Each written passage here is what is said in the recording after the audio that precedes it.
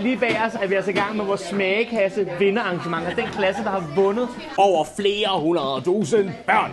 Det er altså ret vildt. Vi er på Landsgrav Friskole, og vi skal lave pizza, og hummus, og deller, og desserter, og alle mulige lækre sager. Ja, der er virkelig knald på. Og det her, det er bare... Det er dagen i Go Cook, som Miki og jeg Det ser frem er mod. den store dag.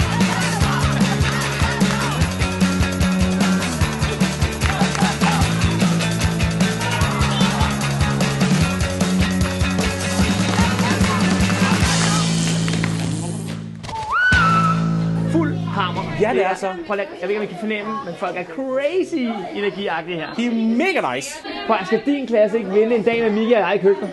Og du kan altså få os ud ved, ved at vinde smagekassen, ved at lave retterne fra smagekassen. Og det eneste, man skal gøre, det er bare at poste det på Instagram, så liker vi og ser alle jeres mega fede fotos. Og vi skal have noget dejligt mad lige om lidt. Det skal vi. Og i bund og grund går vi bare og bestemmer. Ja. Så hvis du kunne tænke dig det, så deltag i smagkassen. Vi kan blive, vi kan blive din for en dag, hvis du er god nok. Hvis dig og din klasse er god nok.